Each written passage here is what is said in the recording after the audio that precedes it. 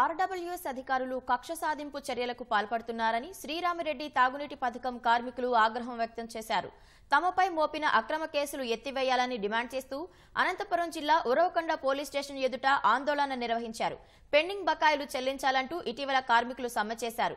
ఆ సమయంలోనే వైకాపా నాయకులతో జత కలిసిన తాగునీటి పథకం అధికారులు ప్రధాన పంపింగ్ కేంద్రంలో మోటార్లు ఆన్ చేశారు.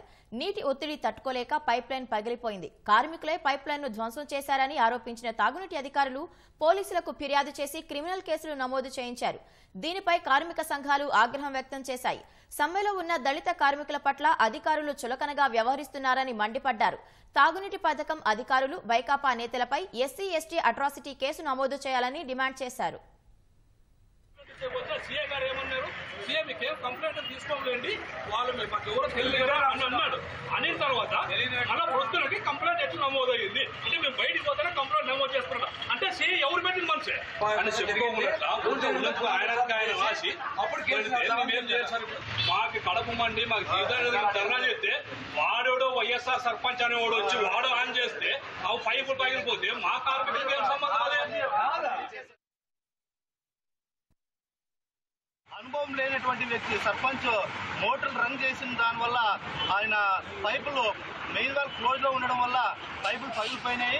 వాళ్ళ మీద ఎక్కడ నింద వస్తుందని మా దళిత కార్మికుల పైన మా మీద నింద. ఈఈ గారు తర్వాత ఈఈ గారు మా మీద కేసు పెట్టడం జరిగింది. అలాగే మా దళిత కార్మికుల పైన దుర్భాషలు ఆడినటువంటి ఆ, సర్పంచ్ అది ఉన్నతాధికారులు కూడా మా పైన దుర్భాషలు ఆడినారు.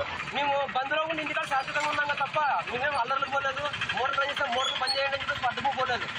వాళ్ళు చేసుకున్నారు వాళ్ళు పని చేసుకున్నారు.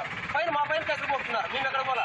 ఇప్పటికే ఐదు ఆరు నెలలు జీతాలు లేవు. పండుగ పూట ఇంటికాడ కూర్చుంటే మళ్ళీ కేసులు పెట్టి ఈ రోజు ఇప్పుడు పంపించారు. మమ్మల్ని బతికించిన లేరు. మా డీ సార్ అయితే చాలా కక్ష సాధింపుగా చేసేస్తున్నాడు అదే పనిగా.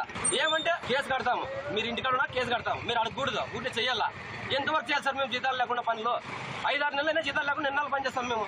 మాకు పిల్లల పిల్లలు ఉన్నారు. మేము చిన్నల్లా ఈ రోజు బియ్యం వల్ల అంటే యాభై అరవై రూపాయలు ఉన్నాయి.